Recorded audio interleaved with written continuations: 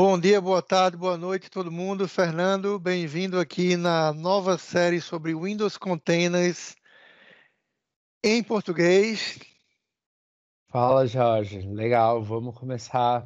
Já tivemos alguns vídeos em inglês e, como sempre, temos uma audiência boa no Brasil. Vamos mostrar os Windows Containers agora em português. Vamos lá, com certeza. Eu tenho aqui um, um slide só para lembrar vocês, quem não conhece, é, por favor, né, sigam a gente no, no, nosso canal do YouTube, curta, compartilha com seus amigos, promova a crescer esse grupo aí. Se você é. tiver algum conteúdo quiser gravar com a gente, sempre vai ser bem-vindo. E tem o azuretar.com, estão todos os blogs e o nosso Twitter é Tesoretar. E é, ative, ative as notificações no YouTube para saber quando saírem novos vídeos. Com então vamos lá. Agora você vai me mostrar os Hyper-V Containers. Exato. Muita gente pergunta o que é, qual é a diferença do Windows Containers para o Linux, o Linux Containers, né? Primeiro, quando a Microsoft começou a criar em 2015, né, começou a criar o Windows Containers, ela criou uma coisa nova no mercado que é o chamado Hyper-V Containers se você olhar aqui, o Hyper-V Containers na direita, ele cria uma, uma virtualização, uma máquina virtual, né, uma VM, só que uma VM bem levezinha, light, aonde o seu container está dentro aqui, o Windows Server Containers está dentro. Então, o Windows Server Containers é o que a gente chama de Windows Containers, e Hyper-V Containers é essa é, é, nível extra de né, isolamento que dá uma segurança maior né, para o seu container, mas não com aquele peso todo de uma, uma máquina virtual completa. Né? Então, quando você tem aqui, por exemplo, um, um Windows né, rodando em cima de um hypervisor, que seria uma, uma, uma Hyper-V, uma VM, é o que acontece na cloud, na Azure, tudo na Azure é uma VM, né? Tudo roda como uma virtualização. Então, quando eu crio uma VM na Azure, eu tenho esse, esse Hyper-V, eu tenho meu Windows kernel aqui, que é a minha VM.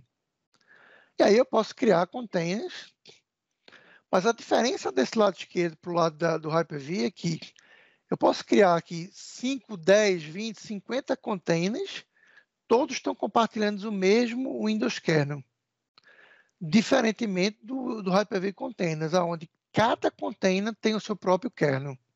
Essa é a principal diferença e aonde você também vai precisar um pouco mais de memória para rodar isso aqui, né? E vai ter um, um, não vai ter a mesma performance de um container rodando diretamente no kernel sem esse extra level, né, um nível a mais de, de isolamento. Então essa é a diferença entre os dois. Então, esse Windows kernel é, é só é o Process Isolation e o, esse Virtual Machine é o Hyper-V Containers. Exato, exato. Então, se a gente comparar isso com o que a gente chama de o Linux Container nativo, né?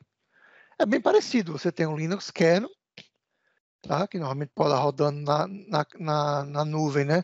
Está rodando também em cima de uma virtualização. E aí você tem para quem está usando o Docker, né, você tem que a parte do Docker que é código aberto, né, open source, que é o Docker-D, que é um demo, né, aonde que é chamado Docker Engine. E esse Docker-D usa essa container D, que é uma library, que é uma biblioteca de alto nível, né, para rodar containers. Tá? Muita gente hoje nem usa mais o, o Docker em si, usa direto essa biblioteca chamada Containerd para rodar os seus containers. O que essa biblioteca faz? Ela fala com o container runtime, né? que é realmente quem roda o container, que é o, o RunC. Tá? O RunC, como, como o Docker-D, foi criado pela Docker e foi open source. Hoje todos os dois são parte, né, Containerd e, e Runcy são parte da né, Cloud Compute Native Foundation, que é uma fundação para essa parte de, de software nativo de cloud, de nuvem. Então, Se você comparar isso aqui com essa parte da esquerda aqui, elas são muito parecidas, tá? É como a gente vai ver aqui, ó, comparar o, um, Windows Container nativo. Aqui é um, um, nível a mais que a gente fala, que a gente chama de Linux Containers no Windows, tá? LCAL ou Linux Containers no Windows. Como, como funciona isso? Então, a gente, recapitulando, a gente tem dois tipos de flavors ou tipos de, de containers no Windows, Windows Containers e Hyper-V Containers.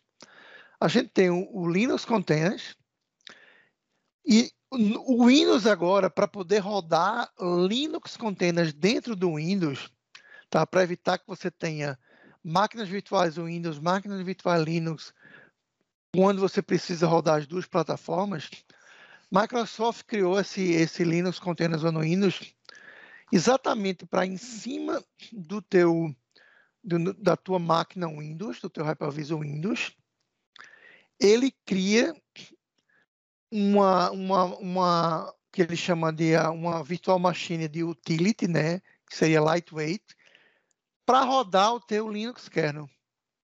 Então, o que ele está tentando fazer? Ele está tentando fazer a mesma coisa que ele fez aqui no Hyper-V Containers, só que em vez de colocar um Windows kernel dentro, ele está colocando um Linux kernel, porque ele quer rodar não Windows Containers, ele quer rodar Linux Containers.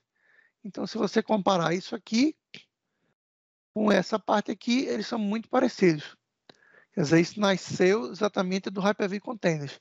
Então, agora eu pego o Windows, eu crio essa Hyper-V né, Utility VM, mas agora eu coloco o Linux kernel lá dentro.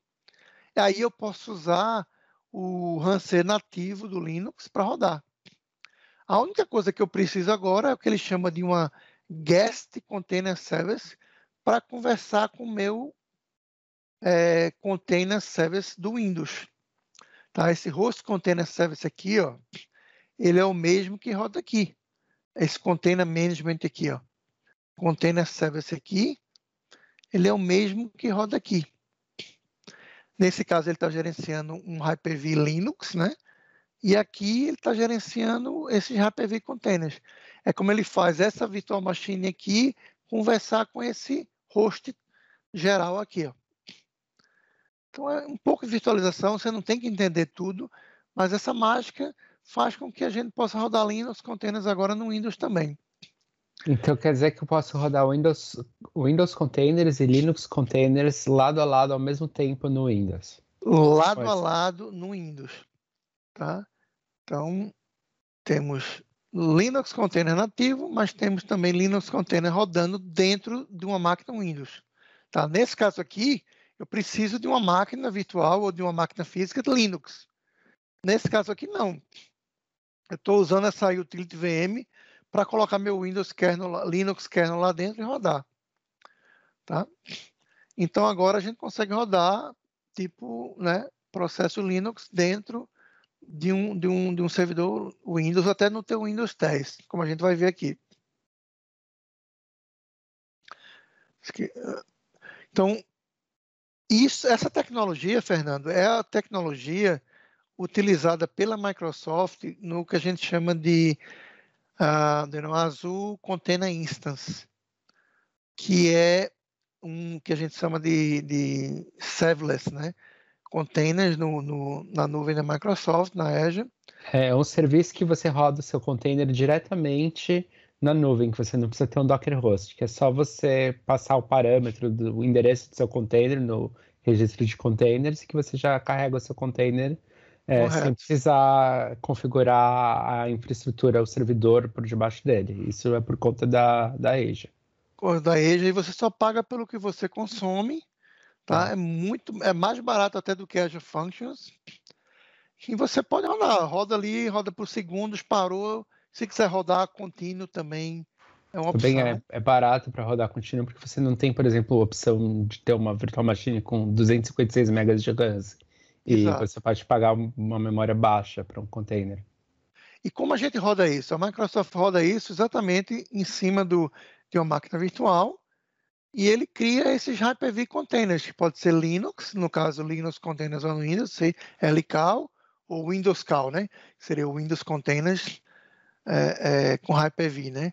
A gente começaram a chamar de Windows Cal, de Windows Containers ou no Windows. Seria esse aqui, da direita. E ele nem está usando Docker, eles estão usando já container D, né? Que eu vou mostrar aqui essa library, que é open source e tá.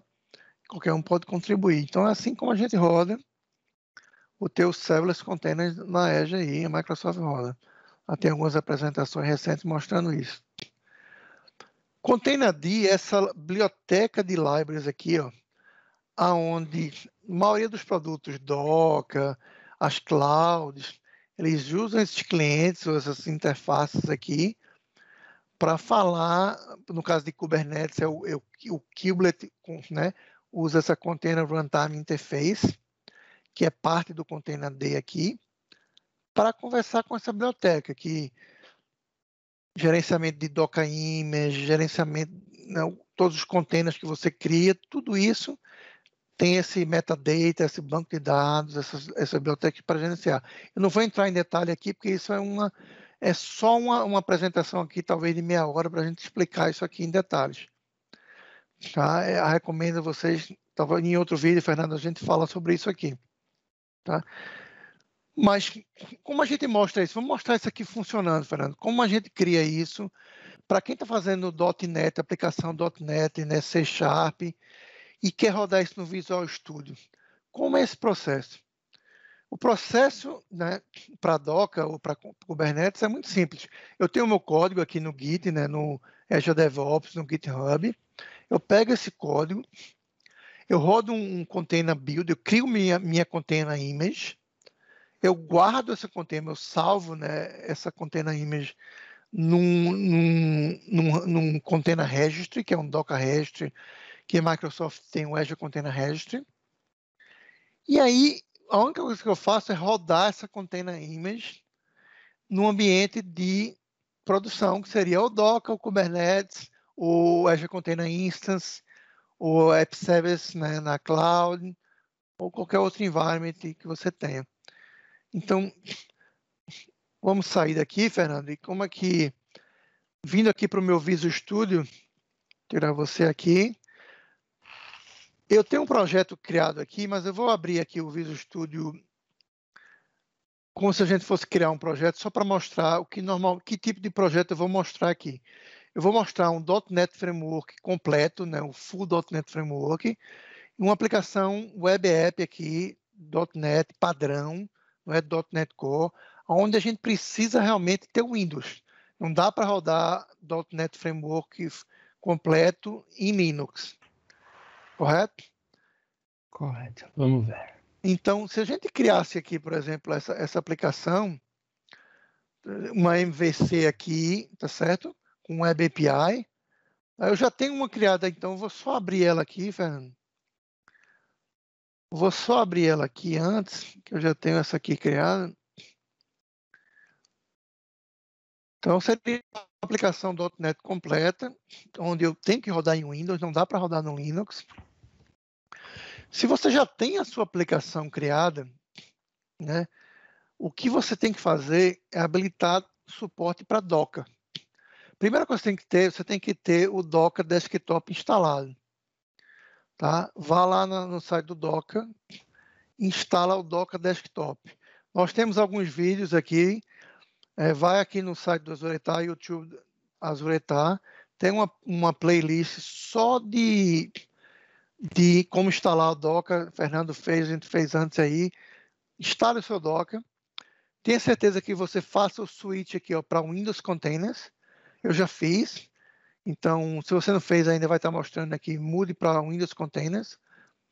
Quando você faz isso, você abre esses settings aqui e você tem o seu Docker Desktop, onde eu tenho minha configuração, mas se eu fechar aqui, ó, eu posso ver, eu tenho que ver minhas im imagens do Docker, Docker Image.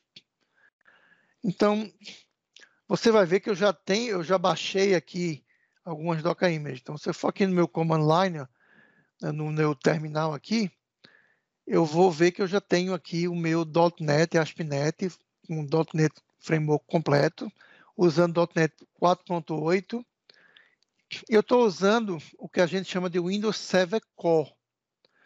Existem dois tipos de Windows Server, o Core e o Nano Server. O Nano Server só dá para rodar, que é esse aqui, ó, só dá para rodar .NET Core. Para rodar o Full.NET a gente precisa de Windows Server de não, Core. Eu estou pegando a versão 20.09 que acabou de sair, que é a 20H2, né? O 20.09. Você pode usar a 20.04 também de abril. Essa daqui é a Long Term Net Support. Então, se eu pegar essa daqui e no meu projeto eu já fiz uma coisa aqui, Fernando. Eu já entrei aqui, ó. Vou aqui right click no, né, do botão com o botão direito aqui do mouse Desculpa aí o inglês, porque se vocês não sabem, eu e Fernando, a gente mora aqui na Austrália, mas a gente vai com o botão direito do mouse adicionar esse suporte aqui para Container Orchestrator aqui, ó. Como eu já fiz, se você clicar, vai ter uma opção para Docker Compose. Aí você, quando você habilita o Docker Compose, ele vai criar esse arquivo aqui, ó, Docker Compose, Compose YAML, e vai criar esse Dockerfile aqui, que são exatamente os arquivos que a gente tem aberto aqui. O que a gente fez foi alterar e colocar essa, essa versão 2000, 2009 já, né? 2009. Não, 2009, 2009. E também, um, para uh, a gente mostrar, se você quiser rodar isso como Process Isolation, o que é Process Isolation? É exatamente o Windows Container, Fernando. Tá? A gente tem aquele Hyper-V Containers e tem o Windows Containers. Até a versão 20.04 do Windows, não tinha como usar é, é, o, o, o, Windows Containers no Windows 10. Tá? Tinha, você precisaria de um Windows Server para rodar isso. Agora, com a versão 20.04 em diante, a gente agora pode habilitar isso aqui. Ó. Eu posso vir aqui agora no meu Docker Compose e habilitar Process Isolation. Por que isso aqui é interessante fazer isso aqui? Na hora que você faz isso aqui, você vai economizar muita memória, porque o Process Isolation ele gasta muito menos de memória do que o Hyper-V, né, container. É, o Process Isolation não precisa da máquina virtual e ele é como, ele é muito parecido com o, o containers no Linux que que ele rola, é, mas mostra pra gente então, Jorge, a diferença de memória que Vou dá. mostrar isso aqui. Se a gente rodar isso aqui, tá? como eu já tenho, para você vai demorar um pouquinho, você vai ter que baixar essa imagem, que é um pouco grande, mas depois que você faz o, o cache na sua máquina, é bem mais rápido. Como você vai ver aqui, se eu rodar, eu vou fazer um debug, vou fazer, é, tá? Você poderia ter vários projetos aqui, como você está usando Docker Compose, você poderia ter ó, vários blocos de projetos, vários a, APIs aqui. Na hora que eu rodasse o Docker Compose, ele vai criar todos esses containers. Tá? Eu só tenho um container aqui, mas se eu for aqui ó, no meu no meu Docker, eu vejo que o Docker Compose está sendo criado aqui. Ó, meu container já está rodando. Eu clico nesse container, vou aqui em estatística, eu vou ver que ó, enquanto o Windows, o Visual Studio está inicializando a aplicação, você vê que a memória está crescendo, porque o container está sendo criado e está começando a fazer o boot do container, né? Tá, ó, tá vendo que foi criado um IP aqui, né, um endereço IP para o teu container, e ele vai é, ele vai começar o teu container aqui. É, então. Tá? Por que ele não fez ainda, Fernando? Porque eu esqueci aqui, ó, Fernando. A gente tem que trocar em, colocar em, de, em debug. Sim. Vamos mudar para debug, porque eu estava em release e rodar de novo. Tá? O que o, o, o Visual Studio faz tudo para a gente. Ele vai destruir o container e vai criar de novo. Você vai ver que vai ficar aqui vermelho.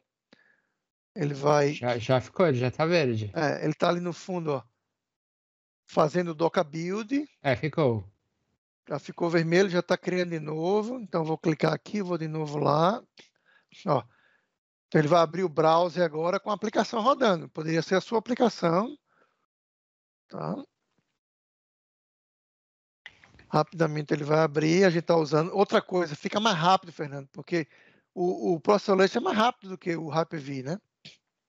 Sim, você já está rodando direto no computador, não tem a máquina virtual. Já está rodando. Então, você vê aqui, vai, vai, aparecer a tua aplicação aqui, ó. A aplicação está rodando lá no fundo.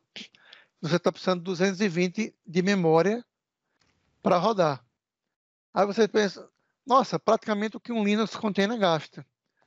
Só para mostrar a diferença para vocês, se a gente for aqui, ó, e eu comento, fazer um comentário aqui, na hora que eu faço isso aqui, ele roda assim, ó. Não vou nem comentar, vou colocar, em vez de Hyper-V, vou colocar Hyper-V, que é o padrão, que é o default.